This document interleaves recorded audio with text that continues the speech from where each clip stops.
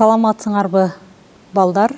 Сабакка даярданып экранга ыңгайлуу олтуруп сабакка көңүл буралы биз бүгүнкү сабакта муунак курттар тиби сөөлжандын тиричилик аракети болмокчу жана муунак курттардын жаратылыштагы маанисин аныктайсыңар муунак курттардын аты айтып тургандай эле алардын денеси узунунан келип көптөгөн муунакчалардан тургандыктан алар муунак курттар деп аталат. Муунак курттардын белгилери тегерек узунунан кеткен булчуңдардын болушу денени ар кандай багыттарга ийип узартып турушу ал тургай каптал жактарында жөнөкөй кыймыл органдары калак сымал бутчалардын жайгашуусу менен мүнөздөлөт ал эми келип чыгышы жагынан түзүлүштөрү баштапкы көңдөйлүү курттар менен байланыштырышат. Окумуштуулардын изилдөөсүнө караганда кийинки көңдөйлүү курттардын теги баштапкы көңдөйлүү курттар болушкан. Узак табигый тандалуунун натыйжасында алардын нерв системасы татаалдашкан.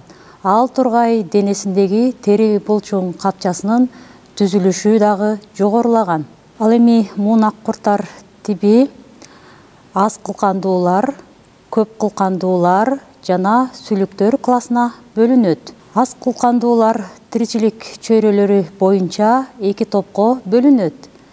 Биринчи тиричилиги сууда өткөрүүчүлөр экинчиси тиричилигин топуракта өткөрүүчүлөр болуп аз кылкандууларга сөөлжандар кирет. Ал эми топурактагы сөөлжан сөөлжандардын денеси жумуру түрүндө болуп муунактардан турат. Биздин өлкөдө кезигүүчү сөөлжандардын узундугу эки үч сантиметрден нөл беш миллиметрге чейин жетет. Ал эми алтайда тараган сөөлжан эйнезиянын узундугу отуз сантиметрден ашат. Ал эми дүйнөдөгү эң узун муунак курт австралия сөөлжаны болуп эсептелет. Анын узундугу эки жарым үч метрге чейин жетет. Анда балдар сөөлжандын тиричилигине көңүл бөлсөк. Сөөлжандар топурактын астында ийин казып жашоого мыкты ыңгайланышкан. Түнкүсүн же жаандан кийин жердин үстүнө чыгып чириген органикалык калдыктар менен азыктанат. Кадимки сөөлжандын муунактарынын саны сексенден төрт жүз элүүгө чейин. Ар бир муунагынын капталында сойлоп жүрүүгө көмөк берген сегизден бир нече ондогон түкчөлөр жайгашкан. Мисалы сөөлжандардын түкчөлөрү ийиндерин казганда алдыга жылганда топурактагы уң кулчуңкулдарына тирелип турууга жакшы мүмкүнчүлүк берет сөөлжандар топуракты тешип көптөгөн ийме чийме терең ийиндерди казып топуракты борпоңдотот абага толтурат органикалык жана органикалык эмес заттарды аралаштырышат. Топуракты жумшартып органикалык заттар менен байытышат десек да болот. Сөөлжандардын кан айлануу системасы жабык анын кан системасы арка курсак кан тамырларынын жана алдын бириктирип турган шакек өңдүү тамырлардан турат кандын жүрүшү негизинен алды жагындагы жүрөктүн кызматын аткаруучу шакек сымал кан тамырлардын керегелеринин жыйрылып жана жазылып турушу менен байланыштуу алар жүрөктүн функциясын аткарышат кандын жылышын камсыз кылып денедеги кан тамырлар менен байланышып турат ал эми газ алмашуу ичке тамырлардын капиллярларында жүрөт сөөлжандын денесине дем алууга керек болгон кычкылтек нымдуу тери аркылуу гана кирет. Мына ошондуктан жаан жаагандан кийин топуракка суу толуп абаны сүрүп чыгарганда сөөлжандар топурактын бетине сойлоп чыгышат. Сөөлжандардын нерв системасы башка муунак курттардыкына салыштырмалуу татаал өөрчүгөн баш жагындагы кулкундун үстүндө чоңураак кош нерв түйүнү жатат. Ал баш мээси болуп саналат. Кулкундун үстүндөгү түйүндөрдөн дененин алды жагындагы сезүү органдарына нервдер барат. Сөөлжандар чириндилерди тандабай азыктанышат. Алар топурактагы микроорганизмдер бактериялар балырлар жана башкалар менен азыктанышат сөл жандардын көзү жок ал эми ошол эле учурда сезүү органдарынын кызматын тинтүрлөрү гана жана териси аткарат. Сөл жандын азык сиңирүү органдары аркылуу топурактын курамы өзгөрөт ал топуракта магнийдин кальцийдин нитраттын аммиактын жана башка топурактагы микроорганизмдердин саны көбөйөт. Ошондуктан жайыттарды семиртүү жана экологиялык таза жер семирткичтерди жогору жаратууда сөл жандардын мааниси чоң. Ошондой эле мал чарбасы үчүн белогу көп баалуу тоюттун булагы болуп саналат сөл жандар гермафродиттер регенерацияга жөндөмдүү болушат. Ошондой эле балдар э, сөл жандар жаратылышта пайдалуу келип эң жөнөкөй үй шартында биогумус өндүрүп алса дагы болот. Биогумус бул айыл чарбасынын органикалык калдыктарын сөл жан аркылуу кайра иштетүү менен алынган жер семирткич болуп саналат. Биогумус кыртыштын асылдуулугун жогорулатуу үчүн гана экологиялык таза азык түлүк коопсуздугу жана адамдын ден соолугу менен түздөн түз байланыштуу десек да болот. Мына ушул себептерден кыртыштын асылдуулугун көбөйтүү жана чарбаларды био чарбасына көчүрүү айыл чарба өндүрүшүндөгү актуалдуу болуп келет. Сөл жандарды багып чоңойтуу биздин өлкөдө да биогумус өндүрүп дыйкандар өз чарбачылыгын колго алып мол түшүм алууну көздөп бир катар иштер жүрүп жатат десек дагы болот. Анда балдар биогумусту өндүрүү боюнча төмөндөгү видеого көңүл бөлсөк. Биогумусту өндүрүүдө калифорния сөл жандарынын түрү колдонулат. Анын узундугу беш сегиз сантиметр ал эми салмагы бир жарым эки грамм болот. Эки грамм салмактагы сөл жан суткасына он граммдан ашык биогумус даярдай алат. Орточо он он беш жыл жашайт. Бул жылдар ичинде бир секунда дагы укташпай иштешет. Булар гермафродит организмдер. Бир сөл жан орто эсеп менен он сегиз жыйырма даана жумуртка таштайт. Эң көп жумурткалаган учуру март айына туура келет. Сөл жандар жыйырма жети жыйырма сегиз градуста багылат кышкысын жетимиш беш пайыз буудайдын саманы бул жылуулукту сактап турат. Мындан сырткары малдын кыгы кургатылган абалда болуусу зарыл. Канчалык чиринди салынса ошончолук биогумус өндүрүлөт. Биогумустун пайдалуулугу түшүмдүүлүктү отуз кырк пайызга жогорулатат жана таасирин үч жылга чейин жоготпойт.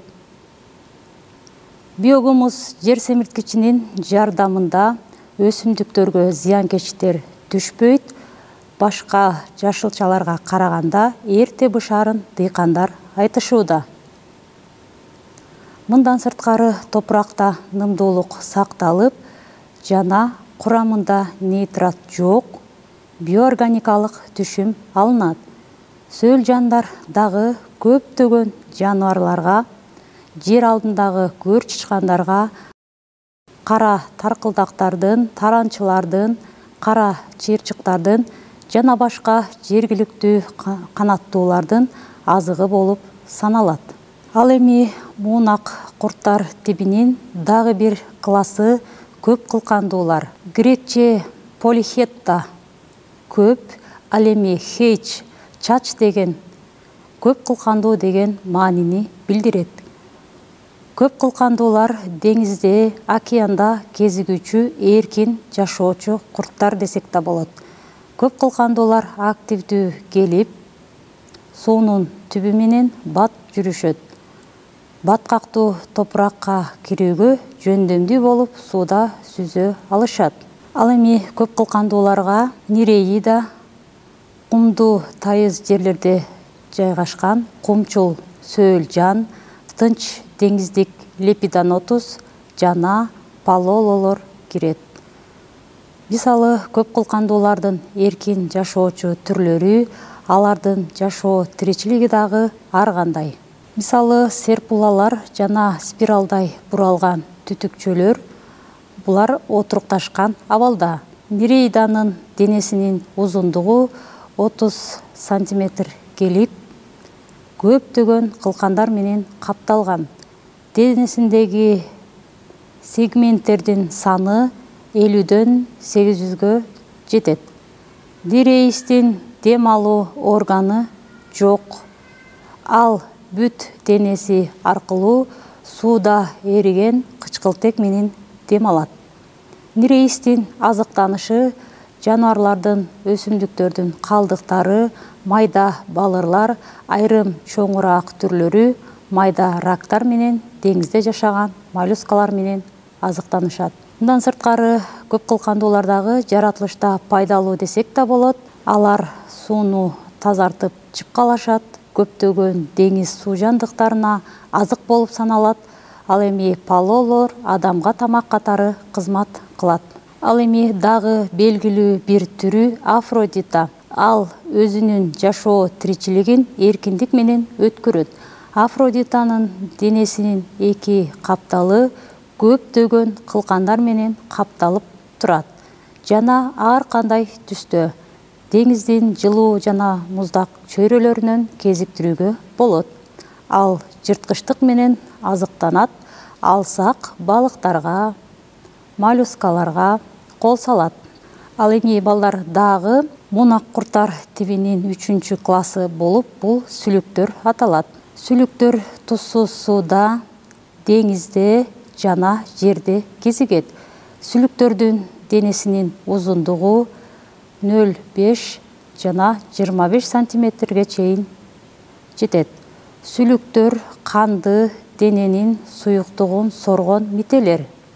Бирок сүлүктөрдүн арасында мителери аз санда денесинде эки соргуч оозу бар. Алар ооз жагында жана арт жагында жайгашкан. Көпчүлүк сүлүктөрдүн денеси муунчалуу нерв жана булчуң системалары жакшы өөрчүгөн сүлүктөр териси менен дем алат. Сүлүктөрдүн белгилүүлөрү э, мисалы калкан тумшук сүлүгү балык сүлүгү жылкы сүлүгү жана башка болуп төрт жүзгө жакын түрлөрү кездешет. Мындан сырткары муунак курттардын мааниси жаратылышта жана адамдын жашоосунда маанилүү десек дагы болот. Сүлүк курту менен дарылоонун тарыхына кайрыла кетсек байыркы мезгилден тартып бүгүнкү күнгө чейин сүлүк менен дарылоо кеңири колдонулуп келет сүлүк менен дарылоонун артыкчылыктары бир катар мааниге ээ алсак герудотерапия кеңири жайылууда герудотерапия латин сөзүнөн герудо бул сүлүк ал эми терапию бул дарылоо деген маанини билдирет байыркы ыкмалардын бири болуп эсептелет аны алгач колдонулуучу болуп байыркы грек табипкери никандр колдонгон мындан сырткары геруда терапия тууралуу атактуу дарыгерлер гиппократ клавдий гален абу али ибн авиценалар өз эмгектеринде да жазып калтырышкан мындан сырткары орустун улуу хирургу пирогов кеңири пайдаланган ал тургай байыркы египет пирамидаларында да оорулууну сүлүк менен дарылап жаткан сүрөттөр сакталып калган. Биздин өлкөдө да сүлүк менен дарылоо боюнча атайын борборлор бар. Сүлүктөрдүн түстөрүнө кайрылып өтсөк сүлүктөрдүн түстөрү ар түрдүү э, түстөрү кара күңүрт күрөң күрөң кочкул жашыл жана башка болушат дары сүлүк куртун дарылоодо адатта жашы бир жарым жаштагы сүлүктөр колдонулат. Бул убакта алардын салмагы бир жарым граммды түзөт. Дарылоодо сүлүктөр бир гана жолу колдонулат. Ачка сүлүк курттар бир жолку соргон каны он беш миллиграммды түзөт. Учурда медицина сүлүктөрү атайын биофермаларда багылып өстүрүлөт сүлүктөр кыш мезгилинде уйкуда болгондуктан тиштешпейт башкача айтканда сүлүк менен дарылоо убактылуу токтотулат десек да болот мезгилдин башка убактарында сүлүктүн активдүү мезгили болгондуктан дарылоодо колдонулуп келет гирудотерапия сүлүк менен дарылоо деген маанини билдирет сүлүк менен дарылоо он сегизинчи он тогузунчу кылымдарда өнүккөн абу али ибн сина гален гиппократ сүлүктү өтө баалашкан жана аны доктурдун жардамчысы деп аташкан. Сүлүк менен дарылоо биринчиден ооруларды алдын алуу максатында колдонулган. Инфаркт инсульт гипертония тромбофлебит шлакка толгон организмди тазалайт. Экинчиден көбөнөкөткө айланган ооруларды дарылоодо пайдаланылган. Боор бөйрөк жүрөк кол бут муундардын ооруларын.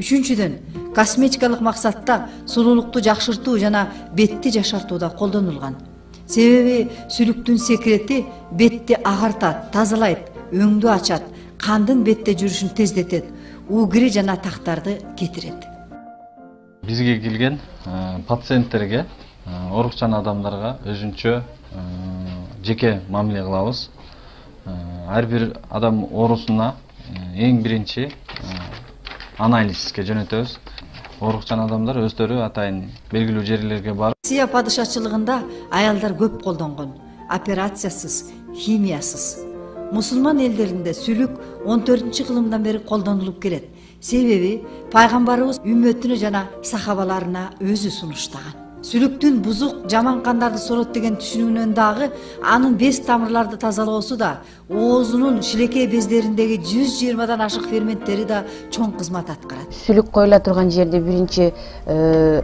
таза жылуу суу менен э, же болбосо э, перекс водород менен үч проценттүү беш проценттүү перекс водород менен сүртүп тазалап алабыз денени денени тазалабасак денедеги э, жыттарга денедеги терге сүлүк жармашпай коюшу мүмкүн э, сүлүк э, тиштегенден кийин жыйырма минутадан баштап кырк кырк кырк беш бир сааттын тегерегинде сүлүк өзү түшөт сүлүк тиштегенден кийин беш минутадан үч минуттан тегерегинде ошол терини тешип теридеги лимфатический сосудка барып шилекейлери по каналу барып именно Э, териде денедеги денеге өзүнүн э, гируда деген ферменти бар ошону чачат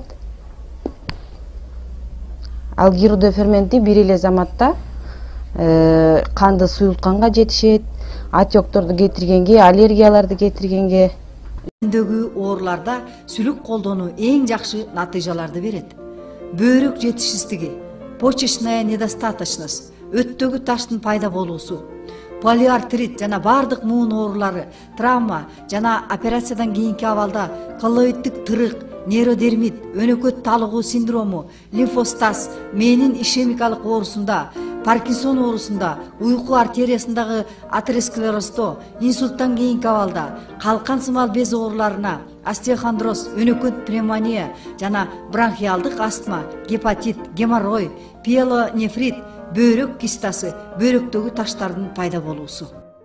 Бул э, сүлүктөрдү э, адамдын денесине коюла турган стандарт сүлүк деп коет. Э, башка баш ооруларына жана остеохондроз ошондой учурларда бул денеге коюла турган стандарт сүлүктөр а бул сүлүктөрүбүз болсо косметологический сүлүк бул жүзгө адамдын жүзүнө коет буларды коюштукта жүзгө коюштукта эмне болот эмне жардам берет? Бетке коюштук менен беттеги э, кан айланууну жакшыртат бетти агартат тунартат э, жана беттеги дактарды кетиргенге угрилерди кетиргенге жакшы жардам берет вырыштарды э, кетирет. Жана жүздү жашарта турган косметический сүлүктөр болот. Гиридотерапиянын универсалдуулугунун сыры эгер сүлүк денедеги дарттын чекитине туура коюлса анын шилекейиндеги керектүү ферменттер оорурган мүчөгө тез таасир берет. Мындан сырткары сүлүк энергия берет. Ал өзүнөн биоэнергия чыгарат жана аны жабышкан денеге жаят. Мындан улам адамдагы энергия берүүчү органды жана клеткаларды кайра калыбына келтирет. Ал эми сүлүк курттардын көбөйүшүнө кайрылсак сүлүк курттарынын көбөйүшү жылына бир жолу жай айларында июнь айынан август айына чейин жүргүзүлөт. Сүлүктөр жыныстык жол менен көбөйөт жана гермафродиттер. Уруктанган жумурткалары атайын кокондордо өөрчүп жетилет. Ал эми кокондордон жаш сүлүктөр сыртка чыгышат жана тиричилигин активдүү өткөрө башташат. Мындан сырткары деңизде жашаган көп кылкандуулардын түрлөрү көптөгөн балыктардын азыгы. Медициналык практикада атайын биологиялык биофабрикаларда өстүрүлгөн дарылоого колдонулган сүлүктөр. Ал эми сабагыбызды жыйынтыктасак анда бүгүнкү сабагыбызды жыйынтыктап өтөлү. Силер менен бүгүнкү сабакта эмнелерди окуп үйрөндүк артка кайрылсак. Муунак курттардын өкүлү сөл жандын жашоо тиричилигин карап өттүк. Көп кылкандуулардын айрым түрлөрү менен тааныштык. Сүлүктөрдүн медицинадагы маанисине токтолуп өттүк силер менен муунак курттардын айрым түрлөрү менен тааныштык бул жөнүндө окуу китебиңерден жана көптөгөн китептерден маалыматтарды таба аласыңар. Кийинки сабакта жолугушканга чейин саламатта болгула